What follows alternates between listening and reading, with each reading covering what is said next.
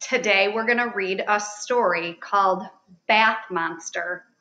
It was written by Colin Boyd and illustrated by Tony Ross. After your bath, do you ever wonder where the dirty water goes? Jackson loved all things that made him dirty and messy. His favorite thing to do was to be outside with his best friend, Dexter.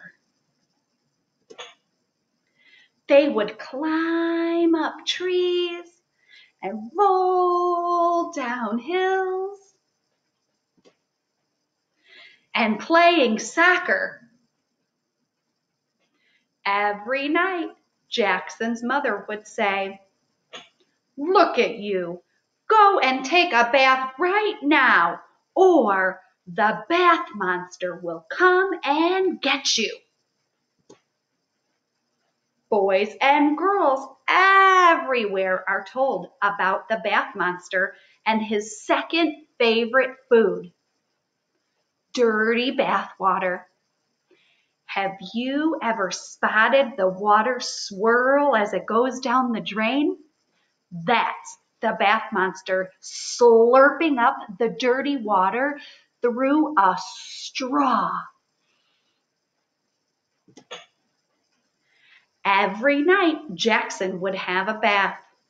But as he got older, Jackson began to wonder one day, when he was out playing soccer with Dexter, Jackson made an epic save and landed in a big muddy puddle. Next, the best friends climbed a tree and Jackson fell into an even bigger muddy puddle. Then they ran up the biggest hill they could find, and that's right, they rolled down into the biggest, squelchiest, muddiest puddle ever. When Jackson got home, his mother said, Look at you. Go and have a bath right now, or else the. No, said Jackson. I don't believe in bath monsters anymore. The bath monster believed in Jackson, though.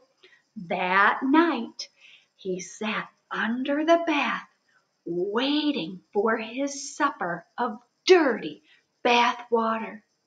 He waited and waited and waited and waited, but Jackson did not have a bath.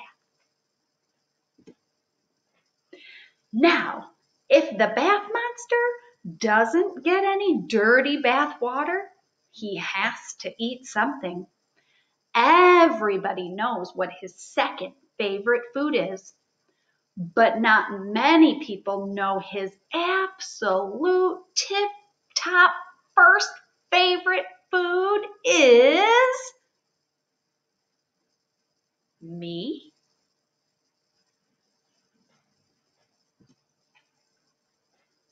That night, Jackson found out the answer. Where is he? Dear Mommy, don't worry. Gone to make mud pies with the Bath Monster. Love, Jackson. I hope you guys liked the story. See you next time.